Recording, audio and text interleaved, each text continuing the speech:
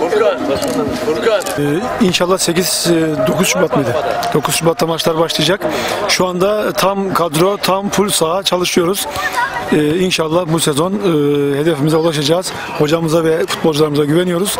Bizler de kin- ki- e, Salı Pazar olarak bu duyguyla kilitlendik. İnşallah e, Salı Pazar'ın adını bu dönem duyuracağız ve hedefe ulaşacağız. Teşekkür ederim. Hocamıza teşekkür ediyorum. Sizlerin vasıtasıyla. Hocam neler söyleyeceksin? Evet bu dönem e, Salıpazarı Belediyesi buradan bize bir talep geldi. Biz de bu görevden kaçamazdık. E, Salıpazarı'nda bir potansiyelin olduğunu biliyorum yıllardan beri.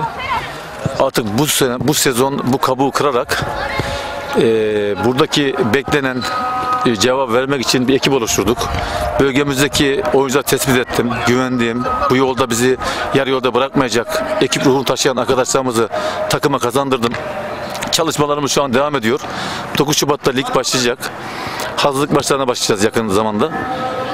Salı Pazarı'ndaki e, taraftarların takımımıza biraz sabır göstererek inşallah hak ettiği üst lige bu sene çıkacağız. Bunu da el birliğiyle halledeceğiz. Bize Salı Pazarı taraftarının biraz sabırlı olmasını istiyoruz. İnşallah bu yolda başarılı olacağız. Başkanım takımı nere, nereye çıkartmayı düşünüyorsunuz? Yani amaç ne? Mücadele, üçüncülük mü? Bal ligi mi? Nereye düşünüyorsunuz?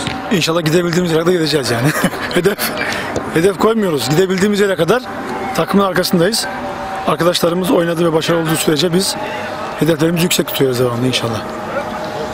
Arkadaşlar. Dağılmayalım.